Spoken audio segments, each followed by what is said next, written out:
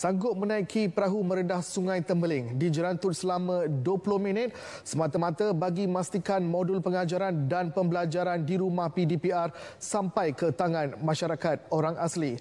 Inisiatif itu diambil guru-guru sekolah kebangsaan Ulu Tembeling setelah menyedari kesukaran para pelajar di kawasan pedalaman Ulu Tembeling untuk mendapatkan capaian internet selain tidak mempunyai kemudahan telefon pintar.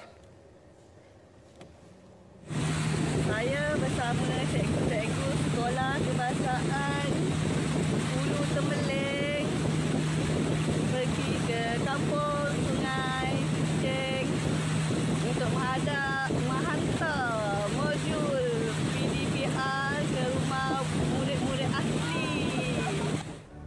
Inisiatif diambil bertujuan melancarkan perjalanan PDPR 21 murid tahun 1 hingga 6 dari suku kaum Semak Beri.